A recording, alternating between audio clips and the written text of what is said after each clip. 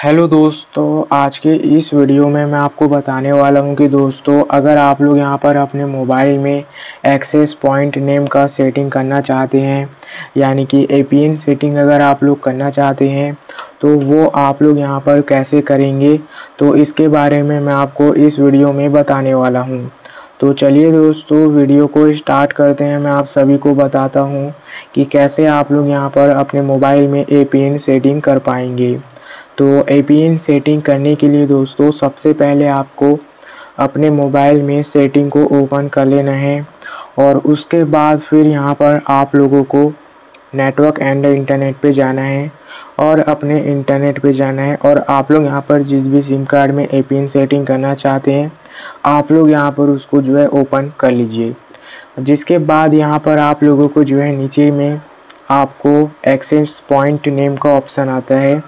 तो आप लोग यहाँ पर इसको क्लिक करिए, जिसके बाद यहाँ पर आपको एपीएन सेटिंग देखने को मिल जाएगा। तो आप लोग यहाँ पर ऊपर में थ्री डॉट पर क्लिक करिए और यहाँ से रीसेट टू डिफ़ॉल्ट पे क्लिक कर दीजिए।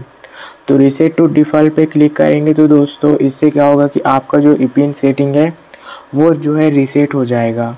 तो ऑटोमेटिकली आपके फ़ोन में जो एक नया एपीएन है, वो यहाँ पर क्रिएट हो जाता है।